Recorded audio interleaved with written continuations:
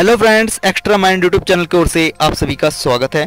Friends common sense double meaning की एक और नई वीडियो आप सभी के सामने उपलब्ध है। फ्रेंड्स इस वीडियो में आपके सामने तीन सवाल होंगे और प्रत्येक सवाल का जवाब देने के लिए आपको सिर्फ़ पाँच सेकंड मिलेंगे। तो चलिए फ्रेंड्स शुरू करते हैं आपका पहला सवाल।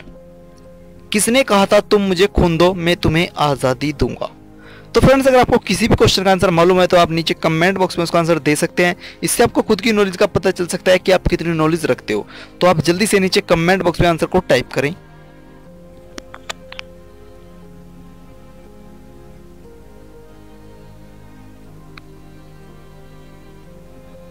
तो फ्रेंड्स यहाँ पर अपना जवाब आप हमारे जवाब से मिला सकते हैं। यहाँ पर इसका सही जवाब है सुभाष चंद्र बोस जी ने। अगर आपका भी यही जवाब था तो एक बार कमेंट बॉक्स में फिर से यस लिखे। नेक्स्ट क्वेश्चन जय हिंद का नारा किसने दिया? जय हिंद का नारा किसने दिया?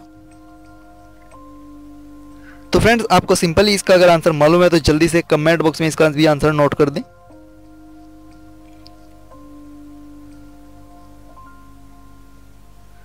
फ्रेंड्स अब आप अपने जवाब से हमारे जवाब का मिलान कर सकते हो। यहाँ पर इसका सही जवाब है सुभाष चंद्र बोस जी ने ही जय हिंद का नारा दिया था। वीडियो का लास्ट क्वेश्चन, जो कि बहुत इंपॉर्टेंट क्वेश्चन होने वाला है।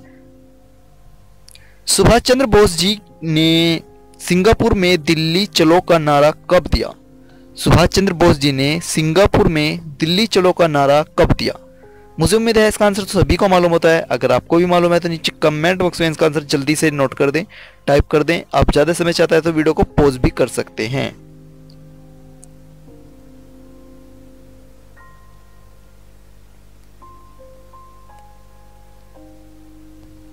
फ्रेंड्स अब आप अपने जवाब से हमारे जवाब का मिलान कर सकते हैं। यहाँ पर इसका सही जवाब है 1943 में सुभाष चंद्र बोस जी ने सिंगापुर में बोला था, दिल्ली चलो।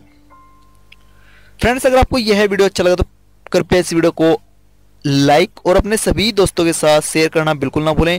अपने सभी रिलेशन वालों के साथ शेयर करें ताकि वे भी इसी तरह की वीडियो देखकर अपने को नॉलेज इंक्रीज करें और अपने इंटरटेनमेंट करते रहें। तो फ्रेंड्स रोज़ाना इसी तरह की मज़ेदार वीडियो देखने के लिए हमारे यूट्यूब चैनल एक्स्ट्रा माइंड को सब्सक्राइब ज़रूर करें। बाजू में बेल आइकन पर लाजमी क्लिक करें ताकि आपको आने वाली न्यू वीडियो का नोटिफिकेशन मिल सके। Thanks for watching